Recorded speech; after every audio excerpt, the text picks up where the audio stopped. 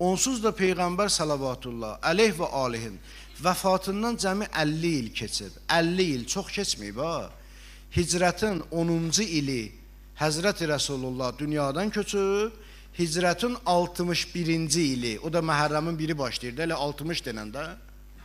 Hicrətin o, yəni 50 il keçib Həzrəti Rəsulullahın vəfatından artıq Kərbəla hadisəsi baş verib.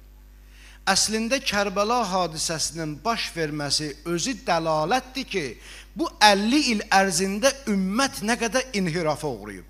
Müsəlmanlar nə qədər yanlışlığa gediblər. Müsəlmanlar nə qədər dinin həqiqətindən uzaqlaşıblar. Fikir verin, bu öz gözəl çıxarışdır, yadınızda qalsın bu. Elə Kərbəla hadisəsinin özü buna sübutdur. Daha lazımdır kimsə mənə desin ki, hə bizə sübut elə ki, o vaxtı müsəlmanlar dindən aralanmışdı. Sübutu Kərbəla. Sübutu Kərbəla. 50 il bundan qabaq Peyğəmbər salavatullah əleyh və alihin qucağında İmam Hüseyn əleyhissalamı görüblər. İmam Həsən əleyhissalamı görüblər. Eşidiblər ki, Peyğəmbər salavatullah əleyh və ali buyurub ki, Həsən və Hüseyn imamdılar. Həsən və Hüseyn imamdılar. Qiyam eləsələr də, eləməsələr də. İmam, imam, imam nə deməkdir? İmam yəni ümmətin başçılarıdır. Özdə sizə bir söz deyim, ha, bu günləri bu İmam Hüseyin minbərindən, Peyğəmbər minbərindən.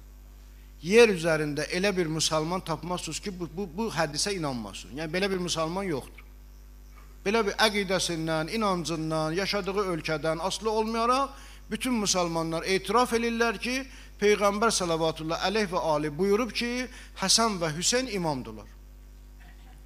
İndi elə ki, biz bu günləri bu minbərdən sual verək həmən müsəlmanlara. Yaxşı, əgər Həsən və Hüseyn imamdılarsa, və niyə imam olmadılar?